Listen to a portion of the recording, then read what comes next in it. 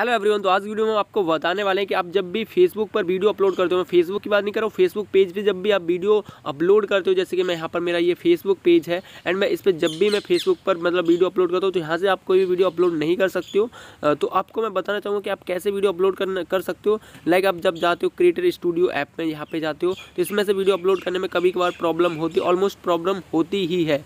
तो मैं मैं जब भी अपलोड करता हूँ तो इससे मेरी जो भी है, वो बेकार जाता है डेटा वगैरह। तो आप मैं कहाँ से फिर अपलोड करता हूँ तो वो भी अब बता देता हूँ। यहाँ से आप क्या करते हो? यहाँ से जाके इस पर क्लिक करते हो ऊपर वाले आइकन पे एंड इस पर क्लिक करने के बाद आप चाहो तो यहाँ से वीडियो फ़ोटो लाइव स्ट्रीम कर सकते हो। तो यहाँ पे मैं जैसे वीडियो में जाता हूँ एंड यहाँ से मुझे अपना फोल्डर सेलेक्ट करना होता है। जैसे मैं मान लो एक्सपोर्ट काइन मास्टर में वीडियो को एडिट करता हूँ तो एक्सपोर्ट में मुझे वो सभी वीडियो मिल जाएँगे। तो मैं यहाँ से कोई भी वीडियो उठा के इसमें लगा देता हूँ। जैसे कि मैंने अंधा बहरा की वीडियो अभी बनाई थी ऑलमोस्ट पाँच छः दिन पहले। जैसा कि आप देख सकते हो, गूँगा अंधा बहरा की ये वीडियो है। एंड यहाँ पर आप टाइटल लगा के एंड यहाँ पर मतलब टाइटल आइटल बाद में भी लगा सकते हैं एंड यहाँ पर आपको थंबनेल लगानी होती है अपलोड इमेज में जाके। आप कोई भी अपनी थंबनेल सेलेक्ट कर सकते हो, मैं आपको बता रहा हूँ। जैसे कि मान लो मैं पिक्सल लैब में थंबनेल को एडिट करता हूँ तो यहाँ पर मेरा पिक्सल लैब फोल्डर खुल चुका है एंड यहाँ पर ये जो थंबनेल मैंने अंधा बहरा वाली बनाई थी उसे मैं सिलेक्ट कर लिया एंड अब मैं ऊपर नेक्स्ट पे क्लिक करूँगा। नेक्स्ट पे क्लिक करने बाद तो ये वाली जो मेरी थंबनेल है वो यहाँ से लग जाएगी। लेकिन यहाँ पर एक प्रॉब्लम आती है कि यहाँ पर इतना आप टैग लगा सकते हो ओनली डिस्क्रिप्शन और टाइटल लगा सकते हो। जब आप टैग नहीं लगाओगे तो वीडियो आपकी चलेगी नहीं ठीक है? तो यहाँ पर हम क्या करते हैं नेक्स्ट पे कर, कर देते क्लिक एंड ये अपलोड होने लगती है और कभी कभार नहीं भी होती। जैसा कि मैं यहाँ पर आप जब भी वीडियो अपलोड करें तो जैसे आप यूट्यूब पर करते हो अनलिस्टेड तो यहाँ पर आपको सेव एंड डिफ़ॉल्ट पे क्लिक करके अपलोड करना है। ऐसा नहीं है कि आपने सीधा पब्लिश नाव पे क्लिक कर दिया तो यहाँ पर आप सेव एंड डिफ़ॉल्ट पे ही रखे, ठीक है? सेव एंड डिफ़ॉल्ट पे क्लिक करने के बाद आप पब्लिश कर दें नीचे, ठीक है? पब्लिश का ऑप्शन आएगा, लेकिन यहाँ पर देखो सेव एंड डिफ़ॉल्ट लिख के दे रहा है, ठीक है? सेव एंड डिफ़ॉल्ट सेलेक्ट करके नीचे पब्लिश पे क्लिक करेंगे तो ये वीडियो अपलोड होने लग जाएगा। देन ये मेरा पहले से वीडियो अपलोड है, और ये मैं बता दूँ, देख सकते ये अपलोड होते ही नहीं है। क्रेडिट क्रिएटर स्टूडियो से कभी कभार ये वीडियो होता ही नहीं है अपलोड, ठीक है? लेकिन आप चाहे उस वीडियो को दोबारा अपलोड करना चाहो, तिबारा अपलोड करना चाहो, कोई दिक्कत नहीं है, लेकिन आप कैसे अपलोड कर सकते हो उस वीडियो को दोबारा, तिबारा, चौबारा, ठीक है? तो उसके लिए आपको करना क्या है? सिंपली आपको आ जाना होगा गूगल क्रॉम ब्राउज़र में, ठीक है? लाइक मैं यहाँ से गूगल क्रॉम ब्राउज़र ओपन करूँगा एंड जैसे मैं से ओपन करूँगा तो आपको यहाँ पे सिंपली सर्च में जाना है। सर्च में आप चाहो तो क्रिएटर स्टूडियो सर्च कर सकते हो, ये लिख के, ठीक है? तो यहाँ पर मैं जैसे क्रिएटर स्टूडियो सर्च करूँगा तो आपको फ़र्स्ट पर क्लिक करना है फ़र्स्ट वाली वेबसाइट पर एंड यहाँ पर ये वाला इंटरफेस उत्पन्न हो जाएगा। नेट के हिसाब से, ठीक है, ये वाला इंटरफेस आने बाद ऊपर आपको थ्री डॉट थ्री लाइन पे क्लिक करना है थ्री डॉट पे, ठीक है एंड यहाँ पर आपको डेस्कटॉप साइट ओपन करनी है, इस वाले बॉक्स को क्लिक करना है, भरना है।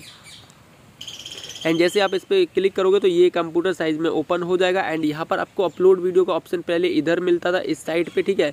इस साइड पे आपको पहले अपलोड का ऑप्शन मिल जाता था, लेकिन अब यहाँ पे नहीं आता है। अब आपको यहाँ पर क्रिएट ए न्यू का ऑप्शन मिलता है। यहाँ पर आप क्लिक करोगे क्रिएट ए न्यू पे तो यहाँ पर आप क्रिएट पोस्ट कर सकते हो अपलोड वीडियो कर सकते हो एड स्टोरी कर सकते हो। तो यहाँ से मैं अपलोड वीडियो पर क्लिक करूँगा। एंड जैसे मैं अपलोड वीडियो पर क्लिक करता हूँ तो यहाँ पर आपको मैं फ़ाइल सेलेक्ट कर लेता हूँ। लाइक मैं यहाँ पर था, ठीक है? यहाँ पर मैंने क्रिएट क्रिएट न्यू पे क्लिक किया अपलोड वीडियो पे क्लिक किया अपलोड वीडियो पे क्लिक करने के बाद आपको नीचे फ़ाइल पे क्लिक करना है, ठीक है? इस वाली फ़ाइल पे, ठीक है? जैसे मैं फ़ाइल पे क्लिक करूँगा तो आपको ऊपर थ्री लाइन का ऑप्शन मिलता है। थ्री लाइन में जाके आप आराम से अपनी गैलरी में एल्बम में जा सकते हो एल्बम में से अपनी वीडियो को ले सकते हो। जहाँ भी आपने एडिट करके रखी है, जैसे कि अदर एल्बम में जाऊँगा मैं। अदर एल्बम में जाने के बाद मेरा फोल्डर है एक्सपोर्ट एक्सपोर्ट को सिलेक्ट करने के बाद मेरी अंधा बहरा की ये वीडियो है, ठीक है? यहाँ से मैं कोई भी वीडियो सिलेक्ट कर सकता हूँ, जैसे कि मैं दस सेकेंड वाली एग्ज़ाम्पल के लिए कर लेता हूँ। एंड मैं जैसे ही इसे सिलेक्ट करता हूँ तो ये देख सकते हो नीचे आपको, इसमें सब कुछ पता चलता है कितनी वीडियो अपलोड हो रही है, कहाँ से आपको टाइटल लगाना है, कहाँ से आपको टैग लगाना है, कहाँ से, इसमें सब कुछ डिटेल में पता चल जाता है। जैसे कि आप यहाँ पे टाइटल लिख सकते हो, गूँगा बहरा मैं लिख के दिखाता हूँ।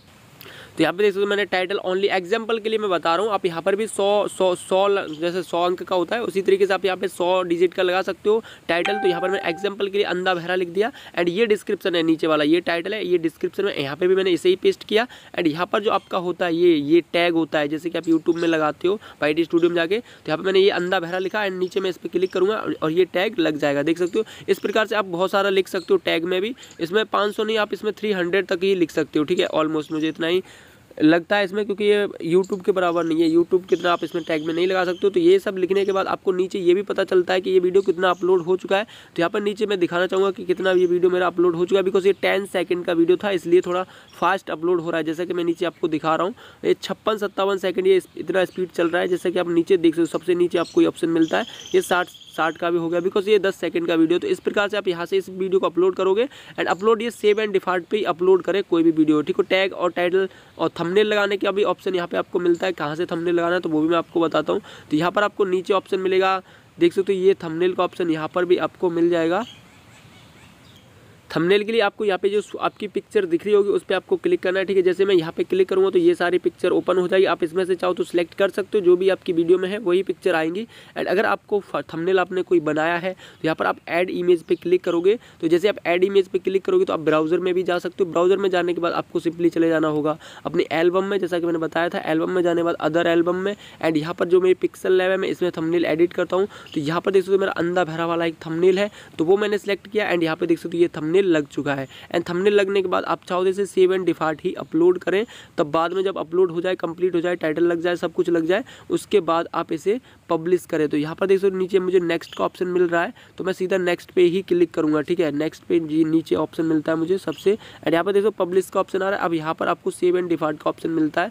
एंड यहाँ पर ये फेसबुक के रूल होते हैं कि अगर आपकी तीन वीडियो तीन मिनट से लॉन्ग वीडियो है तो अच्छी वीडियो रहती है, ठीक है? फेसबुक के लिए। एंड यहाँ पर ऐड ए प्लेलिस्ट आप चाहो तो अपनी प्लेलिस्ट बना सकते हो, जैसा कि मेरी प्लेलिस्ट इसमें पहले से है। तो पहले तो हम सेव एंड डिफ़ॉल्ट कर लेते हैं इसे, ठीक है? जैसे हम सेव एंड डिफ़ॉल्ट करेंगे तो इससे बेटर रहता है पहले सेव एंड डिफ़ॉल्ट अपलोड करें एंड उसके बाद इसे पब्लिक करें। तो मैंने यहाँ सेव एंड डिफ़ॉल्ट किया एंड यहाँ पर आप चॉइस प्ले करोगे तो ये वाला जो एरर है, ये रेड वाला, ये हट जाएगा, ठीक है? चॉइस में प्ले करूँगा कोई भी कर लो। एंटरटेनमेंट वीडियो मैं सिलेक्ट कर देता हूँ, ठीक है? अब देख सकते हो यहाँ पर मेरा रह गया है। बिकॉज़ ये टेन सेकंड का वीडियो था, इसलिए ये तीन मिनट लॉन्ग वीडियो माँगता है। फेसबुक पर फेसबुक पर अगर आपको अपना फेसबुक पेज मोनिटाइज कराना है तो तीन मिनट से लॉन्ग वीडियो होना चाहिए, तीन मिनट एक सेकंड हो, तीन मिनट से ऊपर वीडियो हो। तब देखो मैंने सब कुछ कर लिया है। अब यहाँ पर मैं नेक्स्ट सेव एंड डिफ़ॉल्ट का ऑप्शन मुझे नीचे मिलता है, ठीक है? मतलब पहले पब्लिश का दे रहा था, मैंने ऊपर सेव सेव एंड डिफ़ॉल्ट किया तो नीचे भी सेव एंड डिफ़ॉल्ट का ही ऑप्शन आ रहा है। मैं इस पर क्लिक कर दूँगा एंड ये वीडियो सेव एंड डिफ़ॉल्ट हो जाएगा। अब अब मैं आपको इसे क्रिएटर स्टूडियो में भी दिखाऊँगा।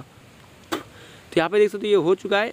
Your video post has been saved and अब मैं जाऊँगा क्रिएटर स्टूडियो में एंड मैं क्रिएट यहाँ पे भी देख सकते हो ये आ चुका है। योर वीडियो पोस्ट प्रोसेसिंग में डन कर दूँगा एंड डन में क्लिक करने में आपको जो भी सेव एंड डिफ़ॉल्ट है वो इस वाले ऑप्शन में मिलेंगी। तो यहाँ पे मैं जैसे ही क्लिक करूँगा तो इस वाले ऑप्शन में आने बाद आपको डिफ़ॉल्ट में जाना है। जैसे मैं डिफ़ॉल्ट में जाऊँगा तो देख सकते हो यहाँ पर टेन सेकंड का जो वीडियो है वो अभी आ रहा है। यहाँ पर देख सकते हो your video post is processing तो जैसे ही आ जाएगा तो यहाँ पर देख सकते हो मेरा ऑलमोस्ट मैंने दिए दो वीडियो एक्स्ट्रा अपलोड कर दिए।